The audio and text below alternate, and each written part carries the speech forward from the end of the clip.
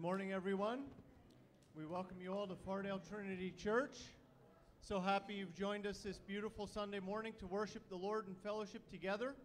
As you make your way to your pews, we ask that you would rise with us as I read this morning's call to worship reading from Psalm 147, verse 1. It says, Praise the Lord. How good it is to sing praises to our God. How pleasant and fitting to praise him. Let's pray. Lord, we echo these words from the psalmist that it is just fitting to praise you. We love to gather together as your people to sing your praises and to bring honor and glory to your name. We just pray that this morning, all that we do and all that we say, our hearts, our minds, our actions, and our words would be honoring and glorifying in your sight. We thank you, Father, for who you are and how you continue to work in our lives. We just pray that our lives would be a reflection of what you've done for us.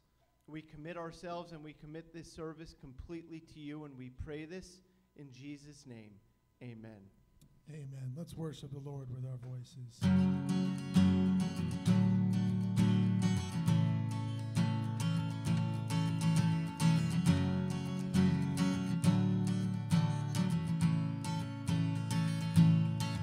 There is now beyond our days.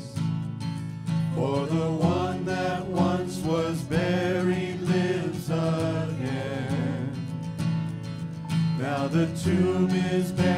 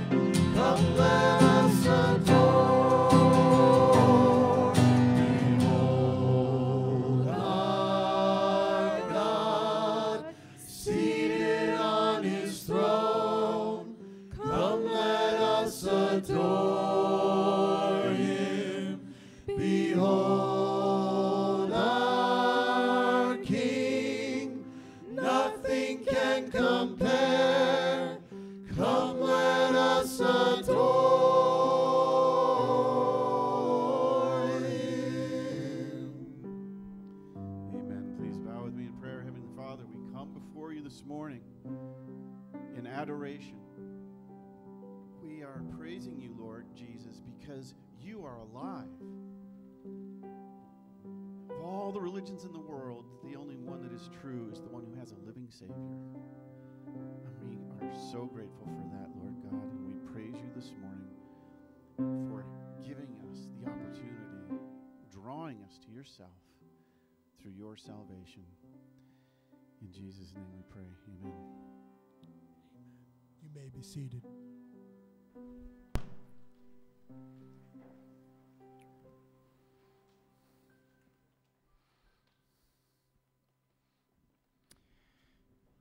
Morning, Fardale family. It's good to welcome you here on this uh, beautiful Sunday morning in June. And uh, I want to congratulate you all. You all made it for our first early service time. Summer schedule is uh, here. And uh, go ahead and pat yourself on the back. You made it at 945, and it's just so great to see you. And a special time as we worship the Lord together. We have the opportunity and privilege to meet around the Lord's table. The Lord's table is for the specific purpose of remembering Him, Jesus Christ, the Son of God, the perfect Lamb of God who died and paid the once for all sacrifice for our sins. No more sacrifices needed. Jesus paid it all. All to Him we owe. We think back about his sacrifice. We meditate on our own lives to see if we are representing him well in the new life that he has given to us. And we look forward to the time when, according to Scripture, we will one day meet all around his table at the marriage supper of the Lamb. What a glorious day that will be. You know, as I was preparing for the Lord's table this morning, the Lord directed my thoughts to a hymn. And it's uh, often been said that the Christian hymnal, next to the Bible itself, is probably one of the best doctrine and theology books that we have because there's so many rich experiences that people just like you and I have written about knowing the Lord and how grateful they are. One such hymn says this My sin, oh, the bliss of this glorious thought, my sin not in part, but the whole has been nailed to the cross, and I bear it no more. Praise the Lord. Praise the Lord, O my soul. Goes on to say, And Lord, haste the day when my faith will be sight, the clouds will be rolled back as a scroll, the trump will resound, and the Lord shall descend. Even so, it is well with my soul. Is it well with your soul this morning? Have you trusted Jesus Christ as your Savior? Do you know Him? Do you love Him? And do you celebrate the fact that He died in your place to pay for your sins? And you're looking forward to His coming again. So when we meet around the table and we partake of these elements, the bread uh, representing His body that was sacrificed for us, His blood that was shed for us to pay the price for our sins, let's think about that sacrifice and ways in which we can live out Christ in us until he comes again. In just a moment, uh, our men are going to be distributing the elements. Uh, please do not partake until we can partake all together. But during this time, as some music is played, um, uh, we just ask you to meditate and talk to the Lord and make sure that you have a right relationship with Jesus Christ thanking Him for the salvation He's given to us. Men, if you'll come, we'll pray, and then we'll partake together. Father God, Thank you for your Son, Jesus Christ, the Holy One, the only one who was qualified to pay the price for our sins. We do not bear uh, our sins or the penalty of them anymore because of what you did, and we are grateful, Lord, for that. So as we, we meet around this table, may our hearts reach out to you, thanking you and praising you until you come again, promising you that we will live for the one who died for us. We pray in Jesus' name.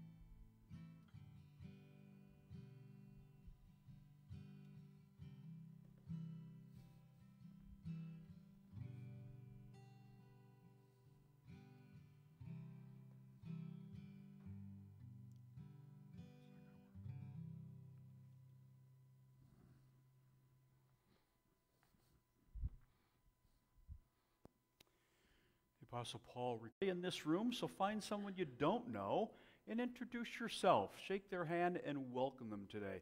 Let's take some time to fellowship together. Would you do that?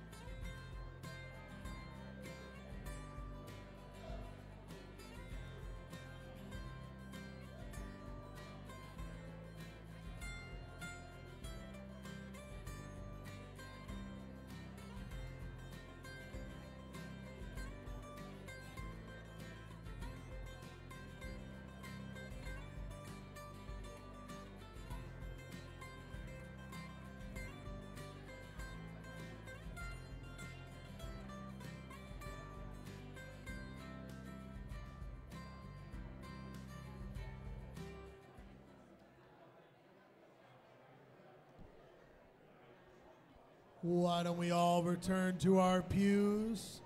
Let's all rise and we'll sing the family of God together because that's exactly who we are.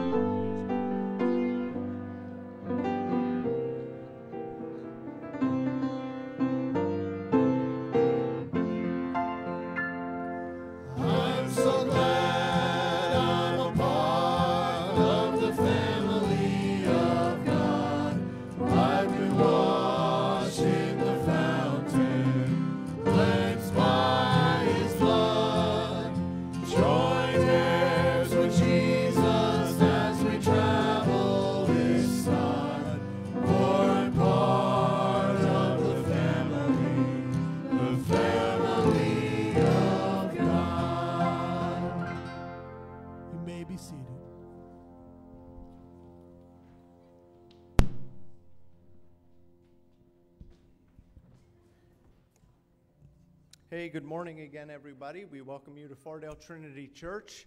So glad you're here to worship and fellowship, to praise the Lord together. Before Brian comes up to do our regular morning announcements, I just wanted to thank all of you for your participation in our annual Haiti Benefit Garage Sale and Car Wash yesterday and Friday. Uh, what a great event all around. Uh, so many of you were praying for this, and we thank you for your prayers. So many of you donated some of your items to this, and we thank you for that. And so many of you uh, gave up your time and your effort, your skill to serve this and to lead this, and we thank you for that as well. Uh, just wanted to give you an update on Friday. The uh, garage sale itself uh, did right around 3,900. On Saturday, the garage sale itself did right around 2,500 and the car wash yesterday did four right around 450 so we had a total of $6886 and more is continuing to come in. I would say that's well over 7000 close to $8000 right now. So praise the lord. Yeah as you remember all of that uh, all of the proceeds all of the funds that were raised goes toward uh, supporting faval through his college education. He's finishing up his sophomore year. He'll be a junior in September, and all of this goes a long way. So thank you all very much, and praise the Lord.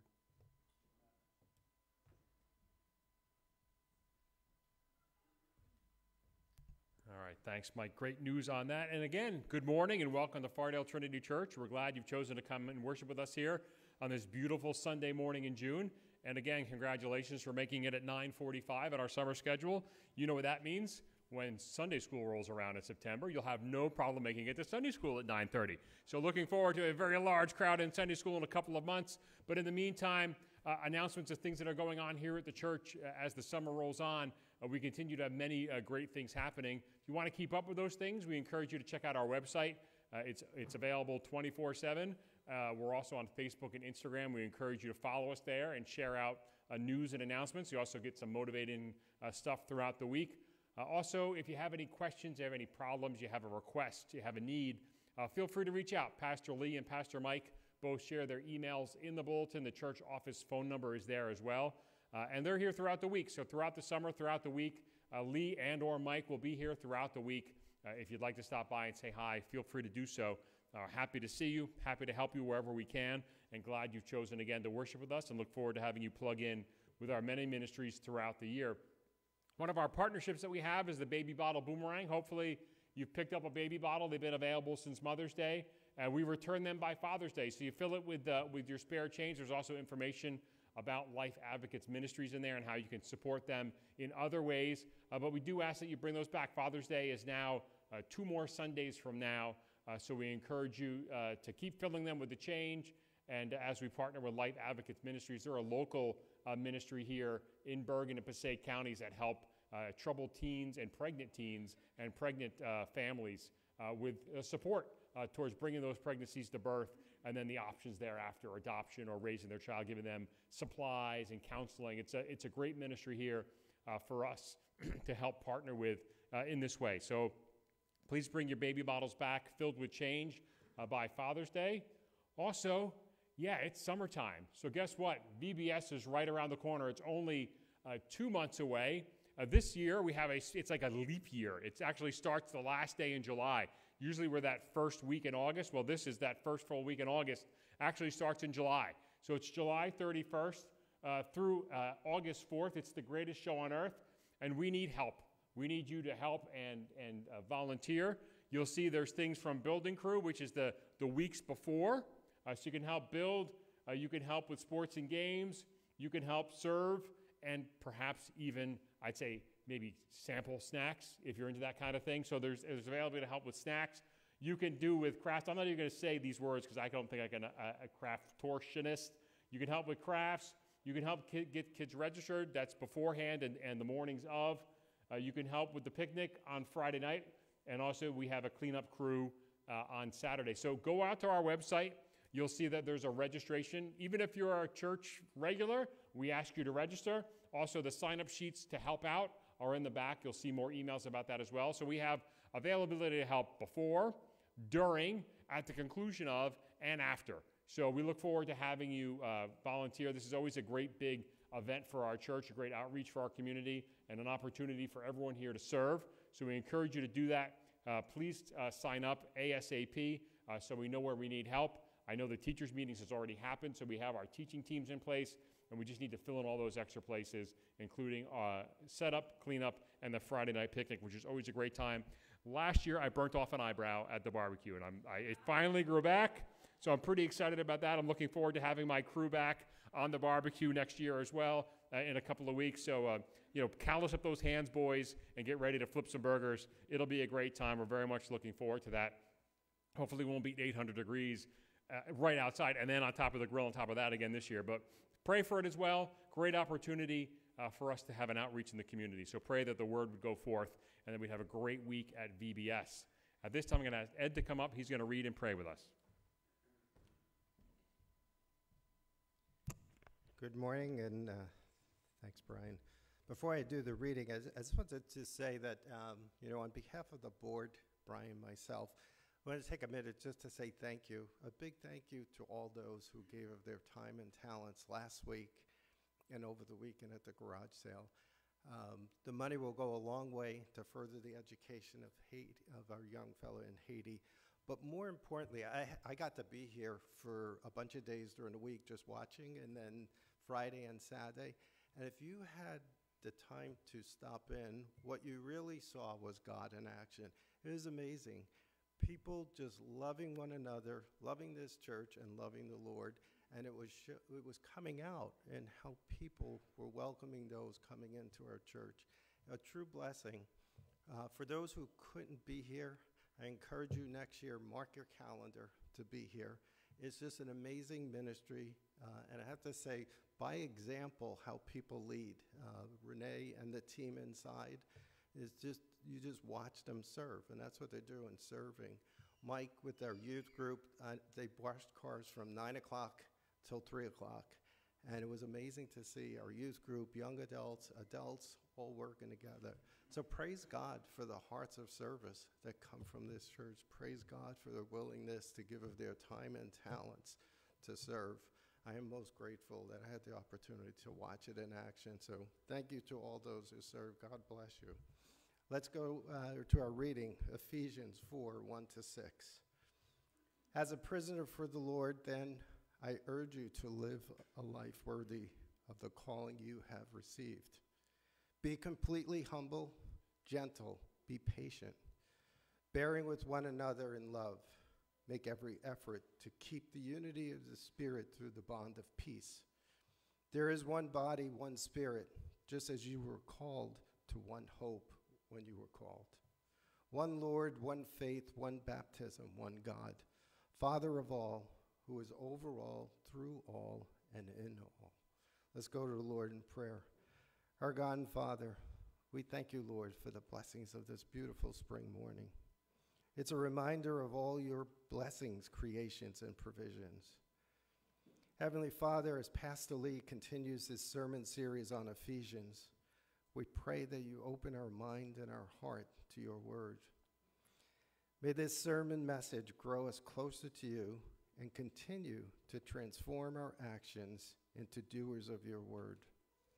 We praise you, Lord, that you, that you poured out your amazing grace on us as part of your purpose in bringing a sense of unity in this divided world, a world that has dismissed you as Lord and Savior. Let our hearts be flooded with light. Give us insight, wisdom, and knowledge so that we can understand the confident hope that you have given all those you called. I pray that we live lives worthy of your calling. Lord, constantly remind us that you who called us walks with us. You who called us will empower us. You who called us will protect us. May the Holy Spirit who lives in our heart make us gentle, humble, patient, and compassionate so that we may become more and more like your Son. Inspire us, Lord, to live each day in faith, loving you and loving one another. And let us be reminded that you are the God of heaven, the great and awesome God. Through your love, mercy, and grace, we can live alive together in Christ. Thank you, Lord, for your guidance and care in all our days, for you restore our soul, give us peace, and bring us hope. We lift these prayers to you. In Jesus' name we pray. Amen. Amen. Thank you, Ed. We're going to dismiss our children at this time, ages four through grades four. You can go downstairs, kids, for All Kids Church. Enjoy a good time of singing and worship and learning from the Word together downstairs. As the kids are leaving to go down there, I invite you who are staying here in the auditorium in the sanctuary to join me in Ephesians chapter 4 this morning. Ephesians chapter 4. If you're just joining us for the first time today, we're in the middle of a study of this letter, uh, the letter to the church at Ephesus, written by the Apostle Paul. And uh, one of the main themes that we've uncovered in this book, in this letter, is about the church and really about the head of the church, Jesus Christ. And so we've been looking at these passages that teaches us, uh, teach us about the praise of his glory in the church and how God designed the church before the foundations of the world, each individual member who would come to faith in Christ become part of the body of the church, and then how the church works together. Today, we're going to look at a very, very, very, very important topic related to church life, and that is the topic of spiritual gifts and the fact that those spiritual gifts really are God's blueprint to build the church through unity in using those spiritual gifts. You know what a blueprint is. If you've ever built a home or even a shed, usually they give you a diagram of what it's going to look like, the dimensions, and all of the ingredients or all of the tools you'll need the, the screws, the, the nails, everything, braces that will go into building that facility.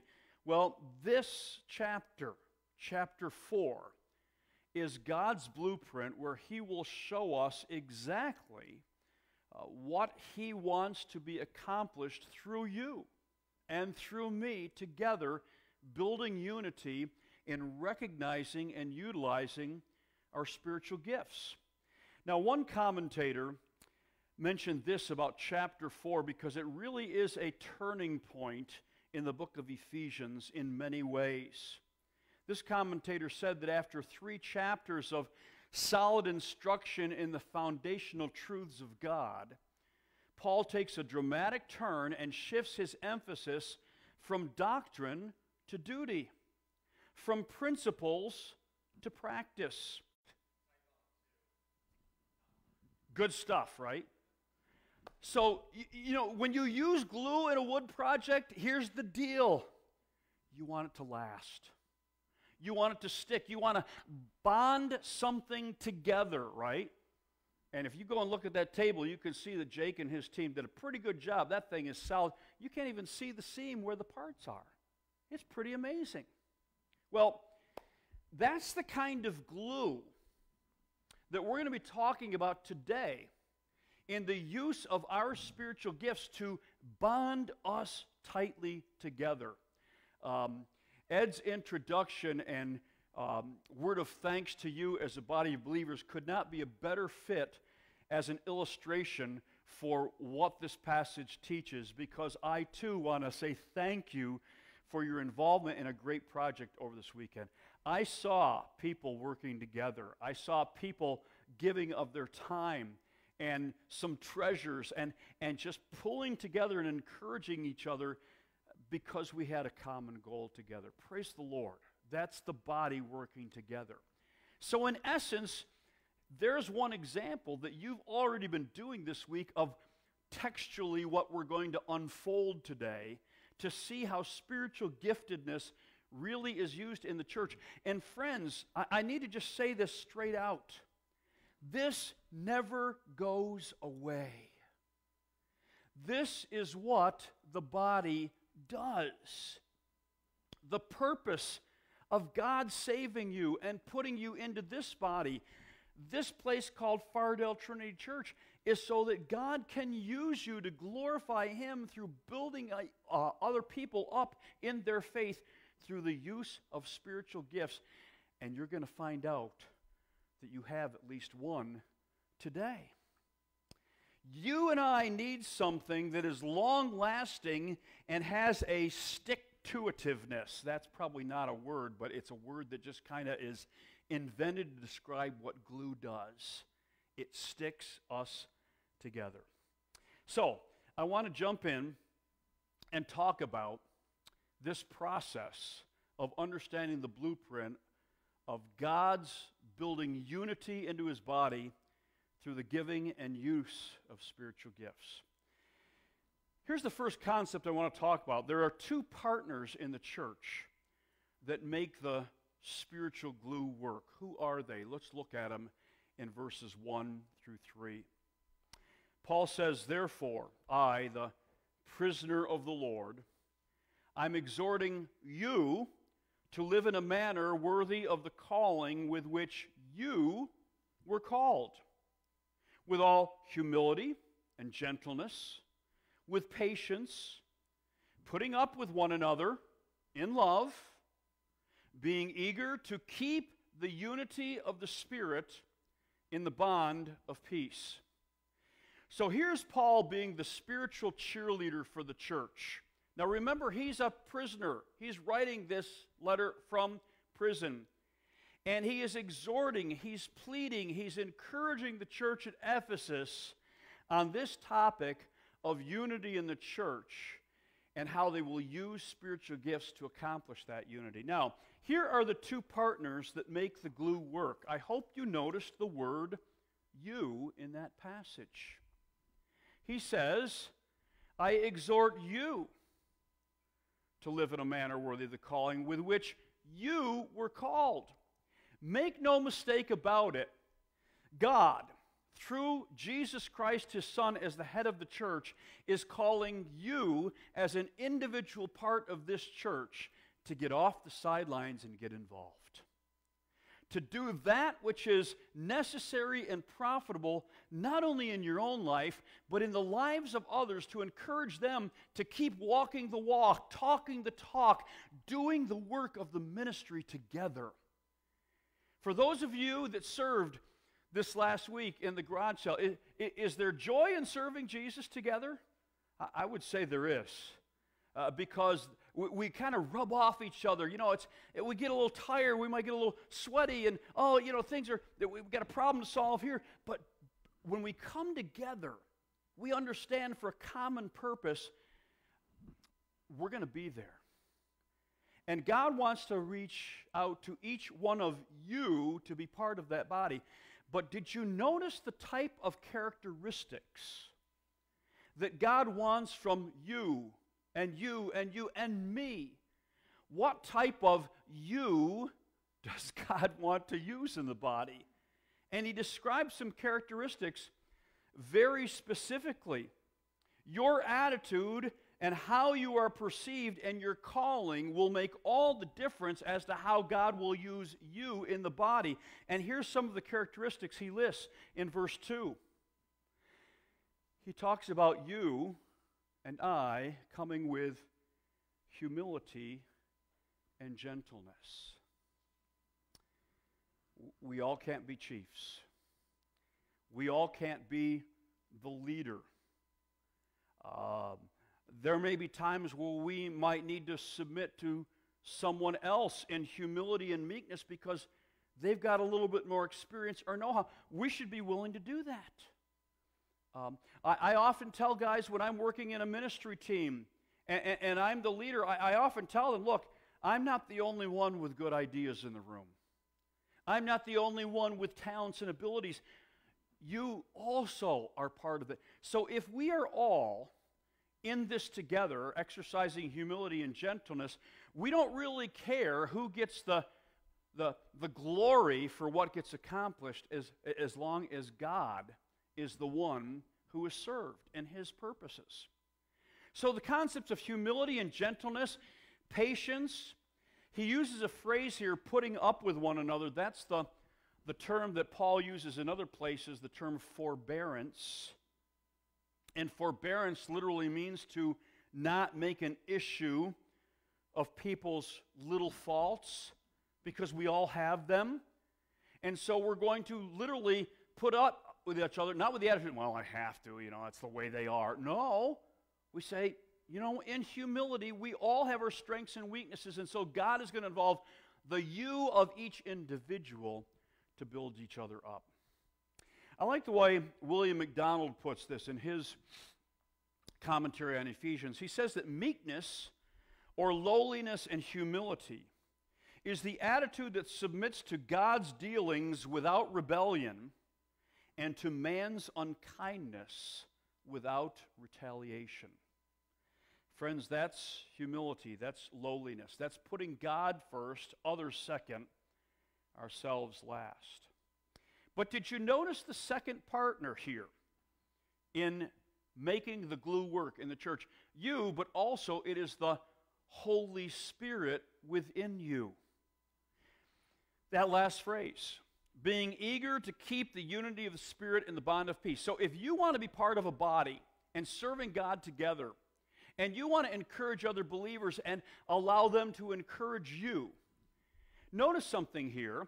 It's the Holy Spirit inside all of us. And we talked about this in detail last week how that the Holy Spirit at the moment of salvation indwells us permanently, He takes residence in us. So it's not like we have to invent something new in order for God to use us in the church. In fact, look at the specific way in which Paul describes this. He says, Keep the unity of the Spirit, don't invent it. Take what the Spirit has already done in your life and in the body and keep that moving forward. One author describes it this way that Paul did not instruct believers to procure unity in the church. He simply asks us to maintain the unity that already exists from the Holy Spirit. So, make no mistake about it. If you want to be part of a local body of believers like Fardale, and you want to get involved in affecting other people uh, in a positive way, engaging with them, encouraging them to walk in faith and to not give up. The two participants in any local church is you and the Holy Spirit.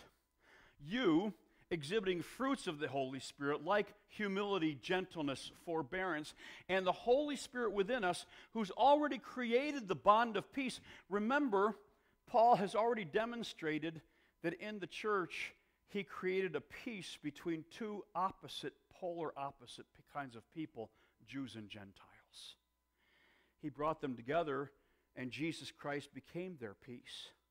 So I think what Paul is saying here is look, if, if the Holy Spirit has already done that, and he's brought those two diverse groups together, can't we learn how to not just get along, but actually encourage each other as we walk in the power of the Holy Spirit and exhibit the fruits of the Holy Spirit in our lives. That's what we need to be committed to. The church doesn't need prima donnas.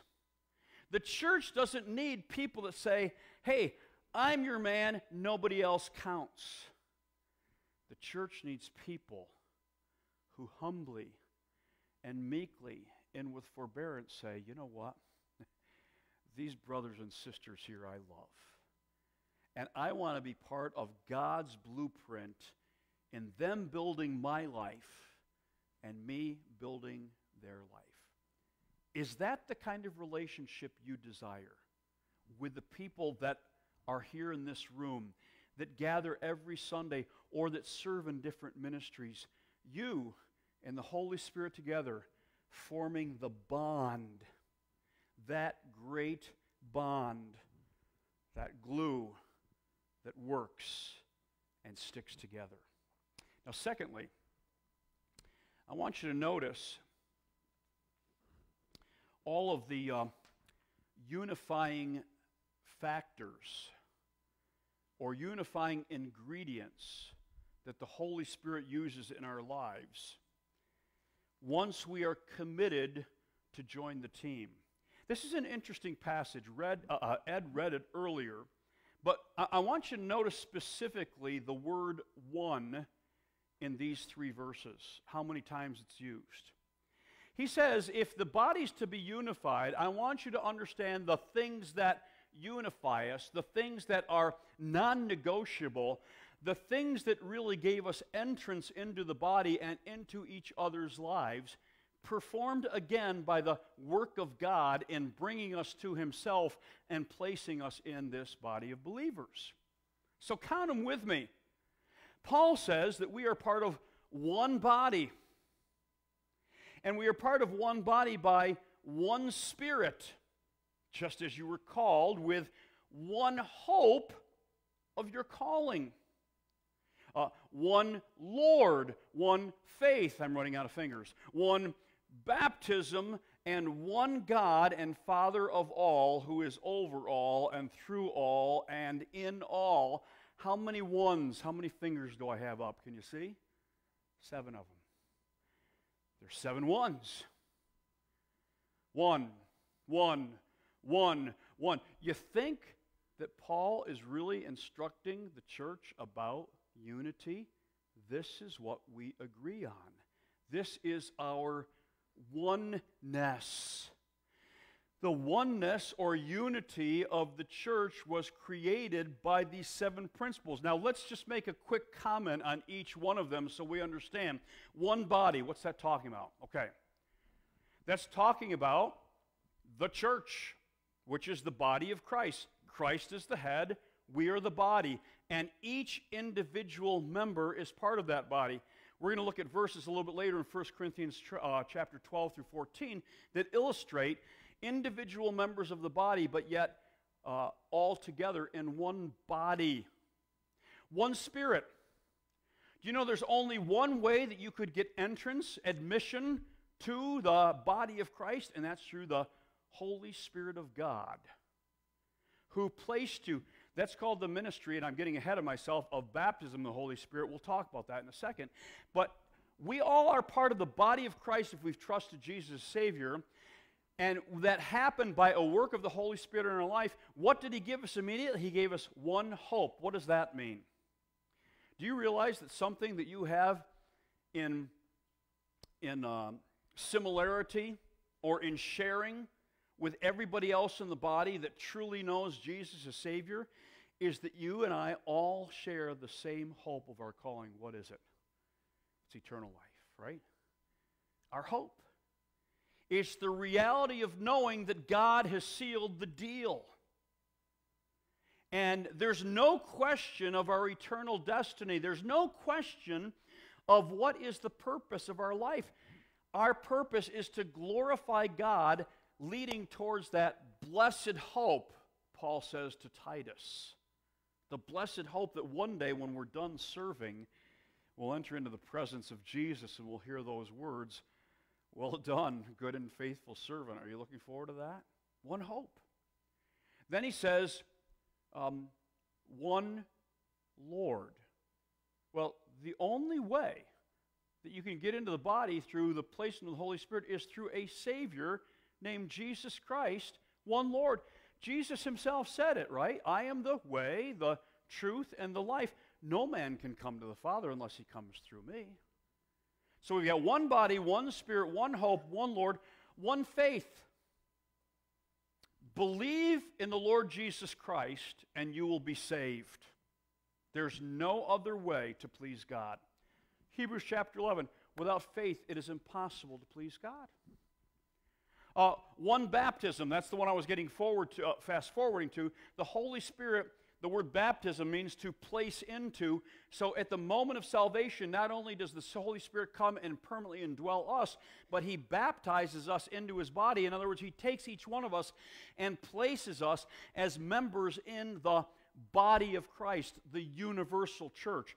If you are saved, you are a member of the universal church. Now, don't confuse that with local church membership although local church membership is really a picture of membership in the church. And we require the same thing salvation in Jesus Christ, okay? And then to finish it off, he says, We have one God and Father overall. You've got to agree together who God is.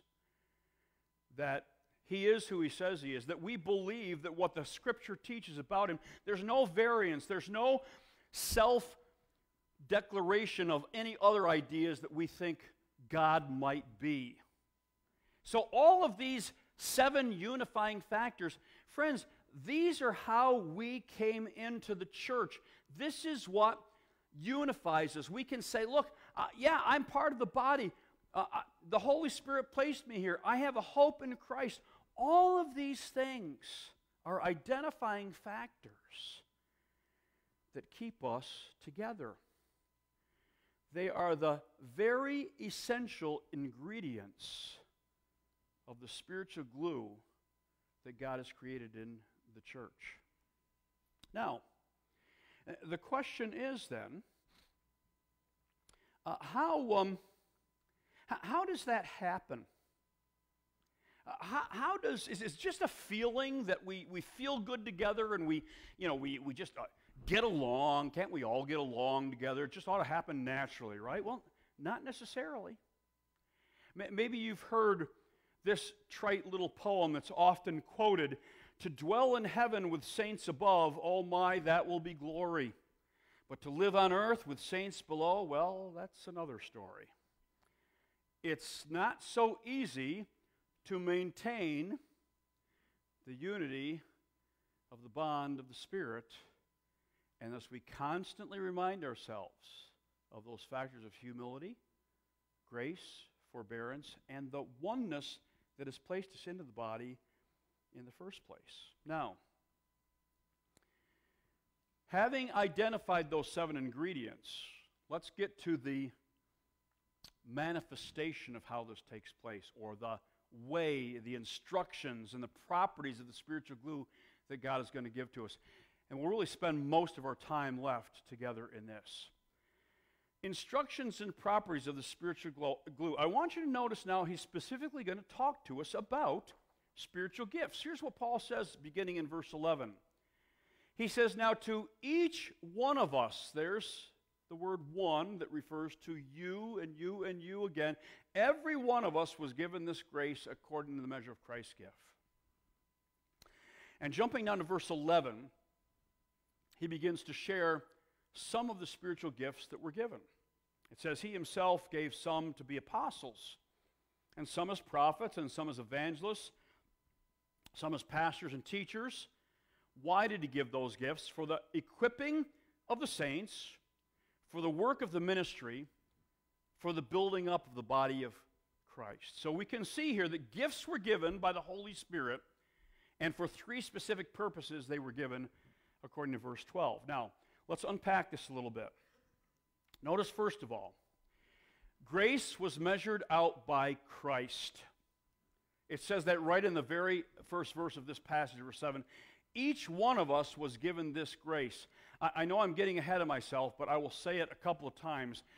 If you know Jesus as your Savior, you are guaranteed by the Holy Spirit to have at least one spiritual gift you may have more than one. We'll talk about that in more detail later. Secondly, this glue involves the spiritual gifts, and he lists them specifically in this passage of apostles, prophets, evangelists, pastors, and teachers. Now, this is not a complete list of spiritual gifts in the New Testament. And by the way, I probably ought to stop here and say, what, what is a spiritual gift? It's not just a natural talent. Is singing a spiritual gift? Answer is no, it's a natural talent. I hate to tell you this, folks, but if you're tone deaf, there's nothing the Holy Spirit can do to help you become a good musician, okay? Just not going to happen. We're not talking about natural abilities. We're not talking about a guy who can hit a baseball far or, or throw a spiral pass or can do really good woodworking projects. We're not talking about talents here. A spiritual gift is a specific enablement or empowerment by the Holy Spirit that will have a spiritual impact on someone else. Now, there will be some dovetailing sometimes of talents and spiritual gifts that we will see a little bit later. For instance, I use the, the talent of singing as an example. Maybe singing or musicianship is used as part of the spiritual gift of exhortation that we'll look at in a second. So, here's the deal. In the New Testament, there's three passages. This one, Ephesians 4, Romans 12, and 1 Corinthians 12 through 14, which give comparative lists of these gifts. Let me show you what I mean. By the way, all of this that you're about to see is not in your notes. I couldn't fit it in your notes. There's no way I could put all of this stuff in there. But here's the good news I put together this chart, and it will be available for you on the back table for you to pick up. So you don't even have to worry about taking notes right now. You can just listen and look and then say, oh, yeah, Pastor Lee said there's going to be a chart in the back. I'll pick that up and I'll look at that a little bit later. But notice these three columns and the gifts that are listed there. Romans talks about prophecy, service, teaching, exhortation, etc. 1 Corinthians, a variety of gifts, prophecy, wisdom, etc. And Ephesians, the gifts that we've just listed. Now, notice that there are a few gifts that are listed in red. And these gifts were meant specifically to be temporary gifts. I'll talk about them in a second.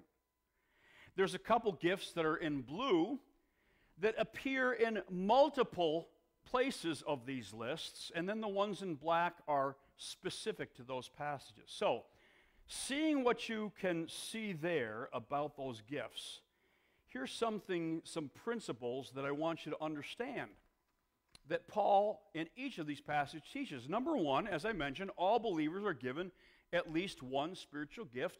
Some are given more, according to that list. But all the spiritual gifts are for the purpose of edifying the body. You don't get a spiritual gift so you can say, Look at how great I am. Man, look at how God finally found the right person, and it's me to be a great blessing to the church. That's not humility, that's not meekness. Notice this not everyone will have the same gifts. In fact, that passage in 1 Corinthians 12 asks the question Are all apostles? Are all prophets? No. The answer is no. Number four, I'm not sure why that's going off the, uh, the side there. Sorry about that. I'll, I'll, I'll read it for you.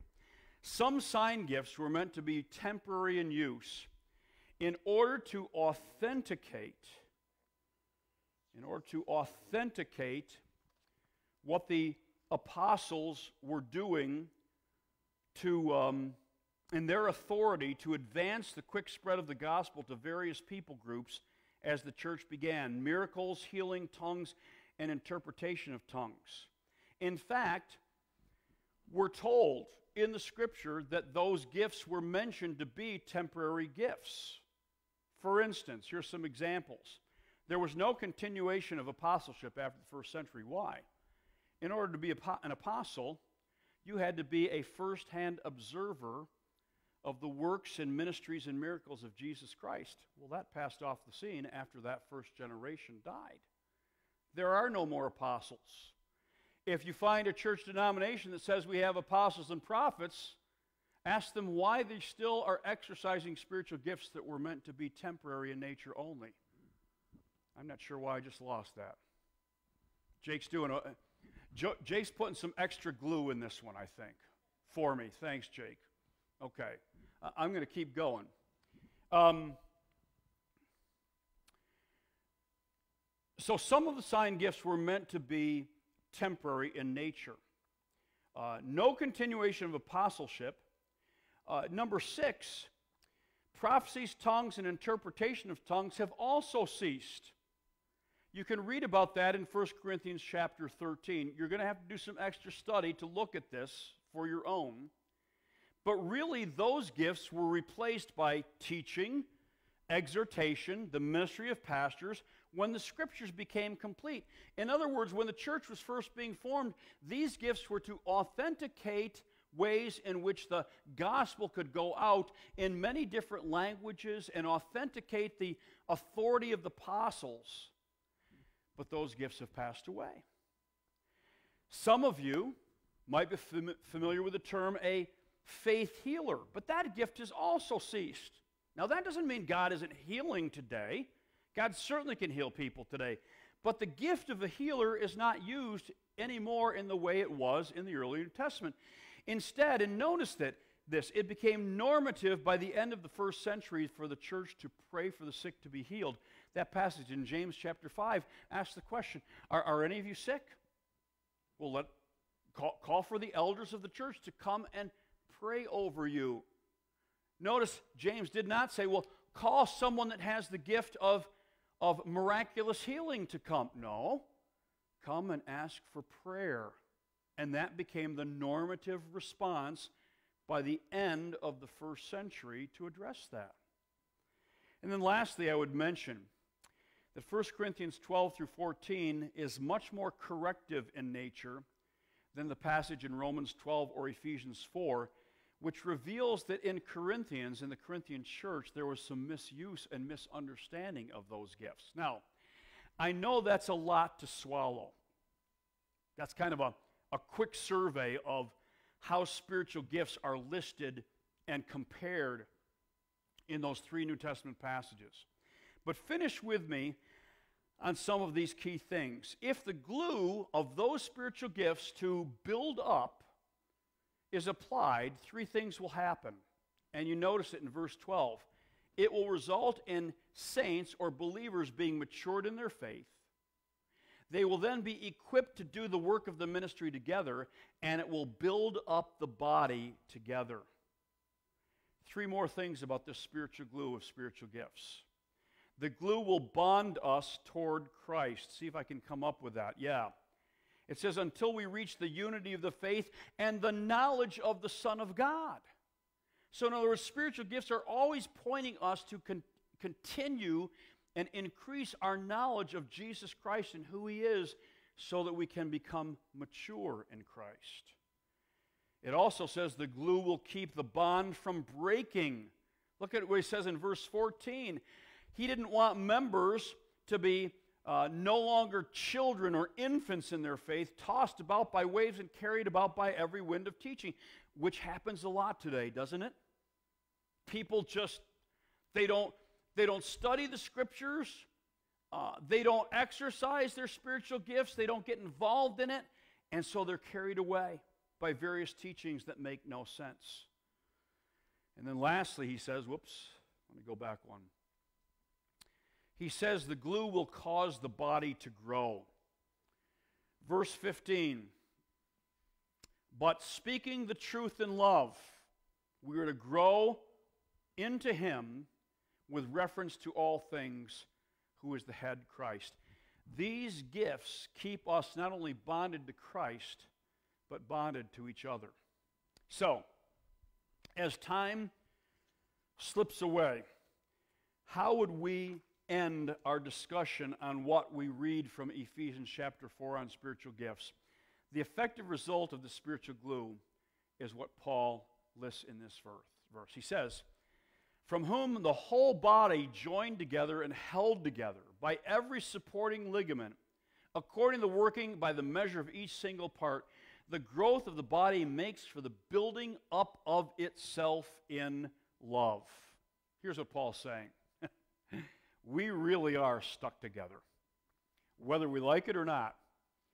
This spiritual glue of utilizing our spiritual gifts forms a bond where we want to lock arms encourage each other, and keep moving forward for Jesus Christ. And did you notice it involves every effective work of every little dab of glue? I like that. It, it doesn't discount any of us. It says, according to the working by measure of each single part. Here's what that means you are a dab of glue. Saying, thanks, Pastor. That, that's just what I needed this morning. I am a dab of glue. You are a dab of glue. You are a dab of. Okay. Have you ever used crazy glue or gorilla glue? And if you read the instructions carefully, it says use sparingly. In other words, if you put like a big glob of super glue or a big glob of Gorilla Glue, what happens? It just pushes out the sides, it gets wasted. Instead, the example Paul is using here is every little You might not think that you're contributing much to the body of Christ, but oh, yes, you are. Every little dab of glue in every member, every participant counts, and every part of it increases body strength. The growth of the body makes for the building up of itself in love. It is a natural result of using our spiritual gifts that the body will be built up. So, here's what I want us to take with us today, and you can study this more as you pick up the charts on the back. I want to ask you this question. In order to build up Christ Church, are you, there's the first member or the first partner in this process, are you cooperating with the Holy Spirit to be that glue that makes the body stick together? In other words, are you committed to a stick to itiveness, a long haul approach that, hey, this is my church. I'm going to be a contributor. I'm going to be a helper. I'm going to get involved. But here's the thing I want to ask you as we close today. All of this information is good about spiritual gifts. But if all it is is information, we're missing the point. Because Paul wasn't just after giving out information to the church, he was actually after transformation. Preaching, teaching, utilizing of every spiritual gift is not just informative, oh, that's good, oh, that's nice. No, it ought to transform us. It ought to change the way we think about each other. It ought to change our attitudes and our motives and our actions towards each other. I am committed because God has made me a what might seem to me an insignificant part of the body, but that's exactly what he wants. He wants faithful contribution from me in utilizing one or two or three spiritual gifts to build up others. Last question. Do you know what your spiritual gift is? Or your spiritual gifts. Go back to the list, it'll be on the back. Work your way through and say, God, which of these gift or gifts have you given to me? So that I might begin to utilize them. And by the way, if you say, Pastor, I, I really don't know. I, I've never really thought about what spiritual gift I have. Hey, we're here to help you discover that. And part of the way you discover what kind of spiritual gift you have is by actually asking others and getting involved in others' lives and trying out different things to say, you know what? You really blessed me with using that gift in my life. Then maybe that is the confirmation that that's exactly the kind of gift that God wants you to continue to use in building up others. Remember this picture? There's an empty pew there. And an empty pew is not a church. A healthy church is where each member plays his or her part for the common good of the body. We need each other. We together are the glue that forms that stick to itiveness.